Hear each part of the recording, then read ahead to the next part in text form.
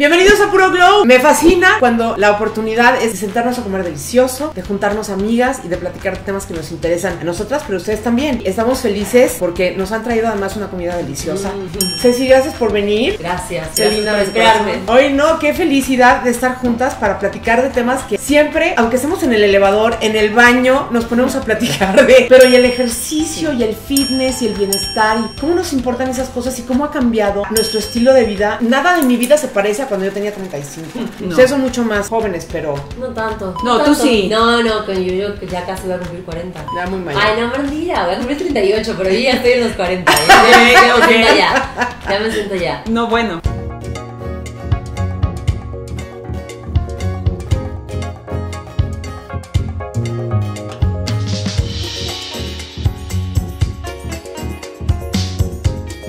Y hemos ido transformando nuestro estilo de vida porque hemos aprendido un chorro de cosas bien padres, ¿no? O sea, ustedes dedicadísimas, por ejemplo, al, al deporte que me fascina. Yo sé que tú, cuando vas por tus hijos a la escuela, Ceci, cuenta tú, cuéntanos tú. Bueno, eh, estoy esperando y hago, hago mis ejercicios con mis brazos todo el tiempo. Yo trabajo sin peso. La verdad que si hago mucho peso me pongo muy, muy demasiado, muy marcada. A mí me crece el músculo de solo mirar una pesa. Tengo que trabajar para tonificar y para estilizar, o sea, todo lo contrario. Yo trabajo mucho con conciencia corporal, o sea, cómo poner atención a tu cuerpo, cómo respirar, cómo ayudar a tu cuerpo a crecer, de estilizarse y de, de crecer, de inyectarle aire a tus, a A tus articulaciones, Sí. a los músculos y aprovechar cualquier oportunidad. Yo siempre pienso que como el tema de la meditación y el yoga, si tú dejas el yoga y la meditación en... Buen provecho. Gracias. Provecho. Si tú dejas la meditación y el yoga en, en esa hora de práctica que le des cada día, no va a tener el mismo efecto que si lo conviertes como en un estilo de vida, ¿no?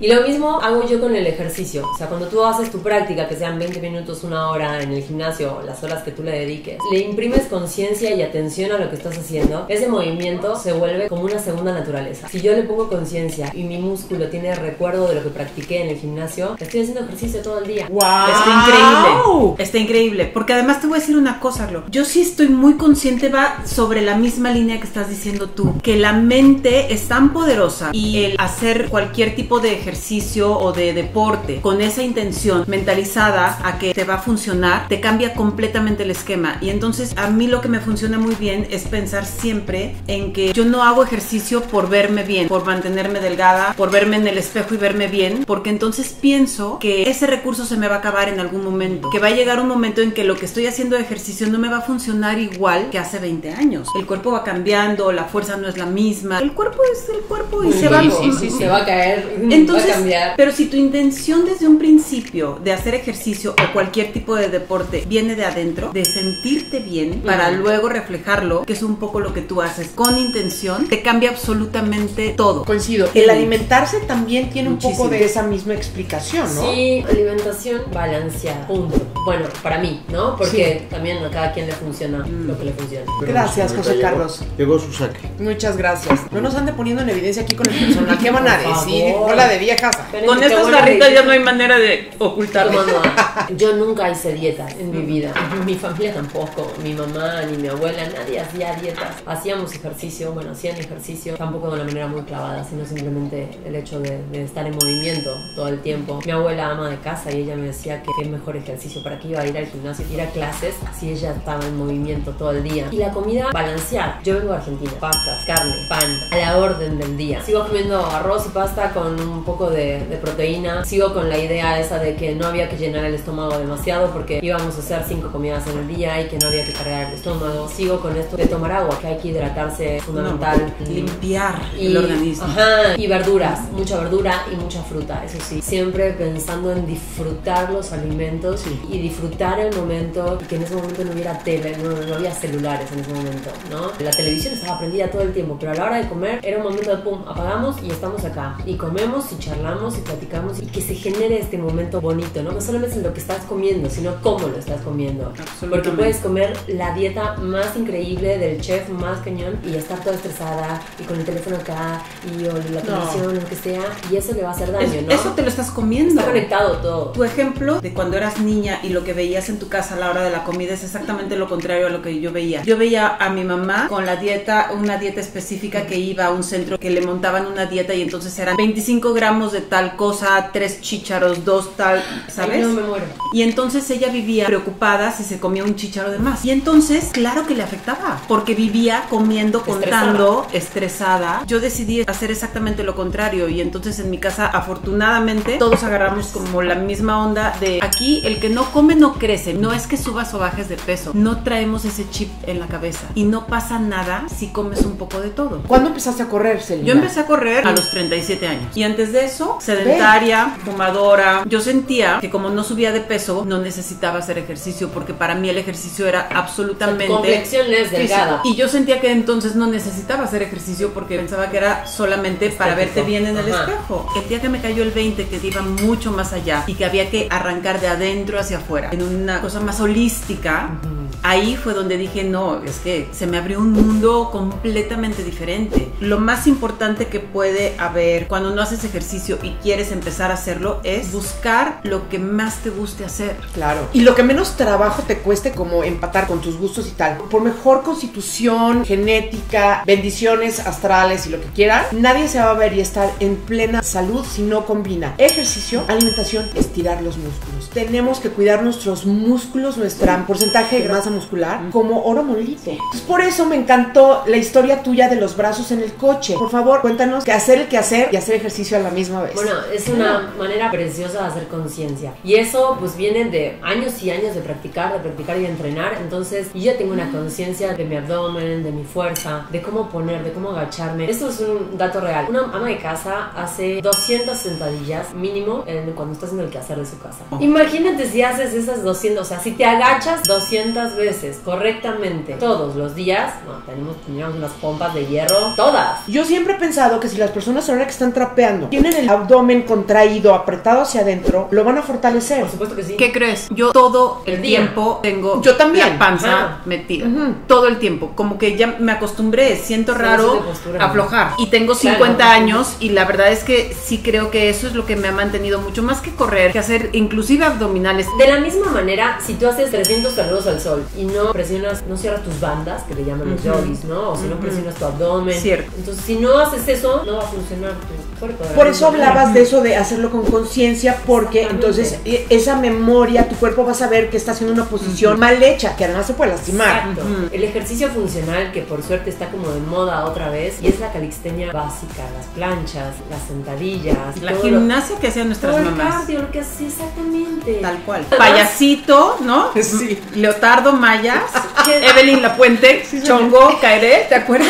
Qué belleza que hoy haya antros, gimnasios y que haya 20 millones de disciplinas para captar a más gente y la gente esté en movimiento. Yo la verdad voy a uno de estos antros, gimnasios y a mí me da ganas de tomar un whisky, no ganas de tomar un té verde cuando salgo de ahí, o sea, ¿no? Entonces prefiero ya hacer ejercicio en mi casa porque es como una música y una energía y un ligue, entonces pues yo o sea, pero mejor me quedo en mi casa. Pero por ejemplo, a mí hacer ejercicio en casa me cuesta mucho trabajo. Y yo lo hago en casa. lo eh, Tú también Igual, lo haces en casa. No, bueno, tú yo eres súper disciplinada. Sí, yo empecé haciendo mis vivos de ejercicio porque cuando empezaba a hacer ejercicio en mi casa, pues me ganaba un poco y a los 20 minutos decía, ah, ya, flojera". Hacía diario, pero no completaba mi entrenamiento porque te empieza a ganar la cabeza. Claro, Con el teléfono, todas, la- que no sé qué, los frijoles ya están listos. Entonces cuando hacía el vivo tenía como un compromiso, entonces pues eso me ayudó muchísimo a recuperar mi rutina de hacer ejercicio todos los días. Tú adquieres el gesto perfecto de esos movimientos y luego te lo llevas a la vida. Yo nunca lo había escuchado explicado de esa manera. No, o sea, el gesto del movimiento y se entiende perfectamente bien. Como la pose número 14 de la foto, que ya sabes que es la que te queda bien, ¿no? Y entonces ya no vas a hacer. Hasta que se vuelve automático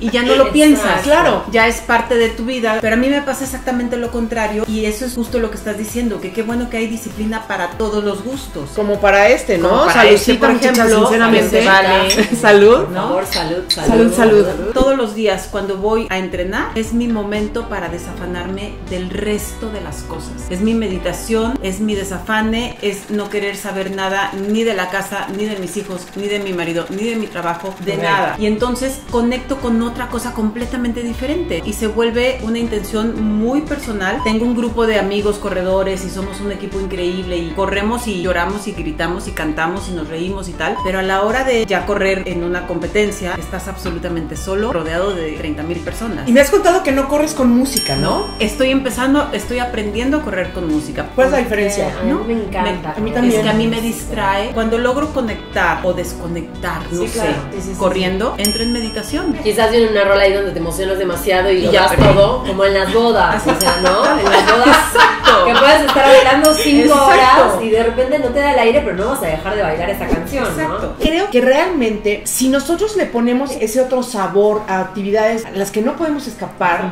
¿no? En nuestra rutina, creo que podemos dar una transformación a nuestra vida. Me interesa mucho siempre aquí en Puro Glow decirle a las personas que no importa cuántos años tengamos, siempre podemos reencauzar nuestras intenciones para lograr lo que nos interesa lograr. No tenemos que conformarnos o estar rehenes a ideas preconcebidas en ningún sentido de la vida. Y por eso quería también hablar con ustedes, porque las sigo, las veo, las admiro y digo, me encanta, porque es dentro de una naturalidad impresionante lo que ustedes dos hacen en su vida deportiva y en su vida personal. Son mujeres sanas, integrales, amorosas, que están viviendo la vida con muchísima pasión. ¿no? Sí, porque se va a acabar en algún momento, o Bueno, sea, pues ¿no? sí. Ay, pues es que nunca sabes. Exactamente. Nunca sabes, y viviendo en México, o sea, yo que vengo de otro lugar, ustedes crecieron con esta historia de que este lugar tiembla, pero mira, allá en Argentina no pasa nada, o sea, un vientito fuerte y una lluvia, así la tormenta de Santa Rosa, ay, llueve durante tres días, ¿no? Pero este país sí se sacude, real, todos tenemos fecha de caducidad, pero vivimos como si pensáramos que vamos a ser eternos, ¿no? Yo no quiero perder esta oportunidad, la verdad, no la quiero perder, por eso la quiero vivir intensamente y quiero que mi cuerpo me dure lo más que pueda, porque mi cabecita y mi alma sin este cuerpo no son nada. 100%. ¿No? Es que además estos músculos son los que van a sostener nuestro esqueleto cuando hayan pasado más años, Exacto. cuando necesitemos esa fuerza para dar pasos firmes, para no depender de alguien más, para seguir siendo autónomos. Hasta Es me que- dieron ganas de llorar. Ay, No, sí. es que el cómo vas a llegar Sí. a esa edad, independiente o dependiente de lo que sea, de una andadera, de alguien, ¿no? Eh, que te dé de comer o no, Claro. es ahorita cuando tenemos que ponerle atención. Pues es lo que le digo a mis hijos. Lo que están haciendo ustedes va a repercutir positiva o negativamente a mi edad y 20 años después. Pónganle atención. Es bien difícil que gente muy joven le caiga el 20. A mí afortunadamente me cayó a los 37 y creo que no estaba tarde como para arrancar a hacer este tipo Nunca de es cosas. tarde. Nunca es Nunca. tarde. ¿Sabes que Tenía una amiga, hace mucho que no la veo, se fue a vivir fuera de la ciudad. Empezó a correr a los 62 años. ¡Exacto! Empezó a correr. Su primer medio maratón, 21 kilómetros, los hizo a los 64 y además ganaba todas porque pues en su categoría había tres Cuatro corredoras, personas, ¿no? sí. Y entonces siempre estaba en el podium. Se motivaba más. Increíble. Y era porque su marido, que era corredor, lo tuvieron que operar de la espalda, le prohibieron rotundamente y le pidió encarecidamente, le dijo, por favor, corre por mí. Ay, ¿sabes que también? Dile a ella que él lo puede, lo puede empujar en una Ah, no, él ya. es el más pila para llevarnos a las carreras, para onda. cargarnos las cosas que traemos, ¿no? Te quitas la chamarra, la avientas y la cacha. Se volvió parte de un equipo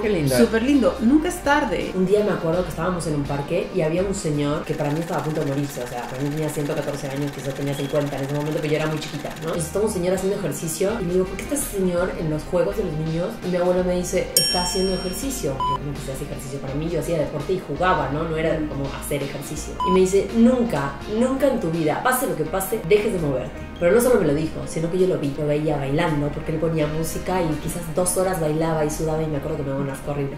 Lo que salía todo sudado, y, ¿no? y estaba de, pero que bailaba su música brasileira y luego tenía sus pesas y hacía sus pesas y lo vi cada día en mi vida haciendo ejercicio. A él, a mi, Wow. mi abuelo en movimiento en la casa y a mi mamá. Me lo pueden haber dicho millones de veces. Después vino este recuerdo de, de ese momento. No importa lo que ejemplo. digamos, sino lo que hacemos todo el tiempo. A lo mejor ese último jalón que necesitaban de levántate ahorita y decide qué quieres hacer mañana y empieza poco a poquito, pero no te rajes, comprométete contigo y vas a recibir toda clase de recompensas. De a poquito todo suma. ¿Desde dónde parto? ¿no? La, la semilla que plantamos es, es la intención. O sea, cuando plantas una semilla está el árbol, la fruta, listo, está todo, ¿no? Y el día que va a desaparecer.